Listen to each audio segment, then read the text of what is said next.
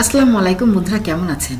আজ আমি আপনাদের ভেটকি মাছ এবং চালকুমড়ার বড়ি দিয়ে মেটে আলু রান্না করে দেখাবো। আর সেই সাথে সাথে আপনাদের দেখাবো মেটে আলু ওঠানোর কিছু দৃশ্য। চলুন বন্ধুরা, ভিডিও শুরু করা যাক। যে কোনো মাছ দিয়ে মেটে আলুর সাথে চালকুমড়ার বড়ির রান্না খুবই প্রিয় বাঙালিদের কাছে। আমি এখানে যে চালকুমড়ার বড়ি ব্যবহার করছি, এই চালকুমড়ার বড়ি আমি বাসায় নিজে বানিয়েছি। আপনারা চাইলে চালকুমড়ার বড়ি কীভাবে বানাবেন, এই ভিডিওটি দেখে বাসায় খুব সহজে চালকুমড়ার বড়ি বানিয়ে ফেলতে পারবেন। আমি আমার এই ভিডিওর লিংক ডিসক্রিপশন বক্স এবং এন্ড দিয়ে দিব। আপনারা ওখান থেকে দেখে নেবেন। প্রথমে আমি আপনাদের দেখাবো মেটে আলু কীভাবে তোলা হচ্ছে। নাম শুনেই বন্ধুরা বুঝতে পারছেন যে মেটে আলু মাটিতেই হয়। তার মানে মাটির তলায় এই আলুটি হয়। তবে শক্ত মাটিতে কিন্তু এই আলু হয় না। এই আলুর মাটির প্রসেস একটু ভিন্ন। ছাই মিশ্রিত মাটি বা ঝুরঝুরা মাটিতে এই আলু হয়ে থাকে। মেটে আলু মাটির বেশ গভীরে প্রবেশ করে। এ কারণে এই আলু তোলাটাও বেশ কষ্টসাধ্য। মেটে আলু অনেক বড় সাইজের হয়ে থাকে। একটি ফল রোপণ করার পর এক বছরের মাথায় আপনারা মেটে আলু সংগ্রহ করতে পারেন। মেটে আলু সাধারণত লতা জাতীয় গাছ। এই ফল থেকেই নতুন গাছের জন্ম হয়। আবার আলুর উপরের অংশ কেটে লাগালেও সেখান থেকে নতুন গাছের জন্ম হয়। দেখলেন তো বন্ধুরা মেটে আলুর কিছু দৃশ্য? এখন চলুন বন্ধুরা, ভেটকি মাছ, চালকুমড়ার বড়ি সহযোগে মেটে আলু রান্নায় চলে যায় আমি এখানে একটি ভেটকি মাছ নিয়েছি এবং সেখান থেকে অল্প কিছু অংশ আমি কেটে নিব। এখানে নিয়েছি আমি কিছু নিজ হাতে বানানো চালকুমড়ার বড়ি আর ভেটকি মাছের কিছু অংশ কেটে আমি এভাবে হলুদ এবং লবণ মিশিয়ে ভাজা দিয়ে নিয়েছি। এখন মেটে আলুর প্রসেসে যাচ্ছি। মেটে আলু আমি কেটে ফেলছি এবং পুরা শরীর ছিলে নিব। আপনারা অবশ্যই অবশ্যই মেটে আলু ছিলে খুব ভালোভাবে ধুয়ে ফেলবেন, তারপরে টুকরা করবেন।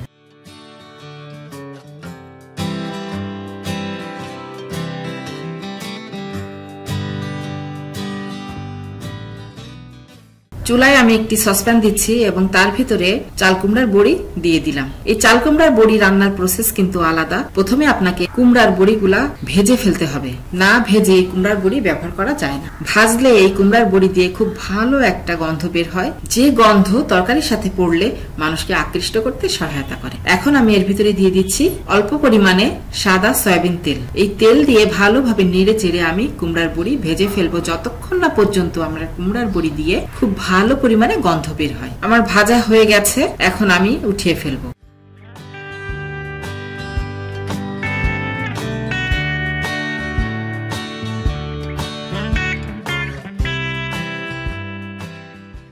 এখন এই তেলের ভিতরে দিয়ে দিচ্ছি আমি কিছু কোচানো পেঁয়াজ। পেঁয়াজগুলো হালকা ভাজার পর আমি এর ভিতরে দিয়ে দিব হাফ টেবিল চামচ পরিমাণ আদা বাটা, হাফ টেবিল চামচ পরিমাণ রসুন বাটা, হাফ টেবিল চামচ পরিমাণ জিরা বাটা। দিয়ে দিচ্ছি হাফ চা চামচ লবণ আর সামান্য হলুদ গুঁড়া। যেহেতু এটা সবজি এই কারণে আমি হলুদ খুব বেশি দিব না এবং শুকনো মরিচের ব্যবহারও করব না। এখন এর ভিতরে দিয়ে দিচ্ছি টুকরা করা মেটে আলু। খুব ভালোভাবে নাড়াচাড়া করে আমি মশলা সহযোগে মেটে আলু একটু ভাজা ভাজা করে ফেলব। এখন এর ভিতরে দিয়ে দিব সিদ্ধ হওয়ার জন্য পানি। সিদ্ধ হওয়ার জন্য পানি দিয়ে আমি ঢেকে দিব।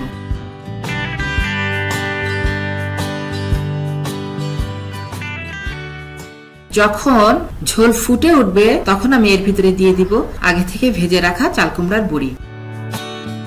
এখন দিয়ে দিচ্ছি কিছু কাঁচামরিচ।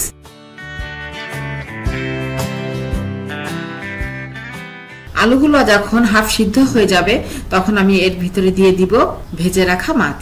এখন ঢেকে দিয়ে বেশ কিছুক্ষণ রান্না করতে দিব।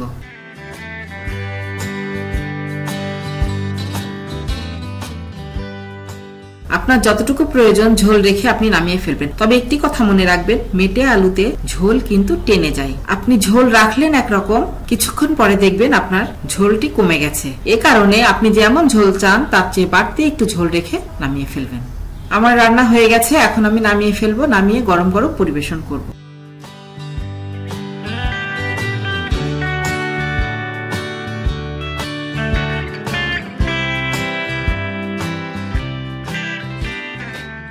বন্ধুরা, ভিডিওটি ভালো লাগলে একটি লাইক দিবেন কমেন্ট করে আমার সাথে যোগাযোগ রাখতে পারেন, আর সম্ভব হলে আমার ভিডিওটি শেয়ার করবেন।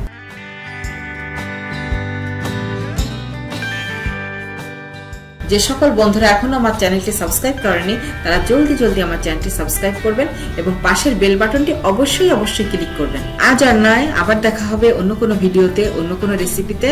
সেই পর্যন্ত ভালো থাকবেন, সুস্থ থাকবেন, নিজের শরীরের প্রতি খেয়াল রাখবেন। এই কামনায় খোদা হাফেজ।